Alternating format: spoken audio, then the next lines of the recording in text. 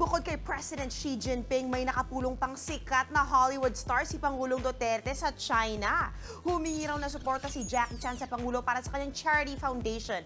Pumayag naman daw ang Pangulo basta para sa Timog Silangang Asya ang mga proyekto. Nigaruhan daw ng martial artist si President Duterte ng jacket at libro. Nag-post pa sila ng may hawak na mga panda stuffed toy habang naka-fist bump.